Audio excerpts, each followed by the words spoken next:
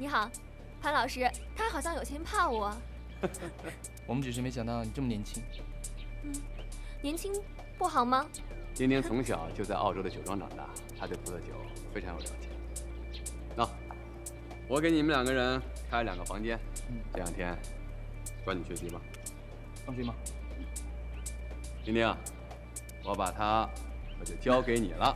放心吧，潘老师，没问题。帅哥，今天我可要对你进行魔鬼式的训练了，受得了吗？没问题。那我们第一堂课上什么呀？第一堂课，第一堂课是请你新搭档我吃饭。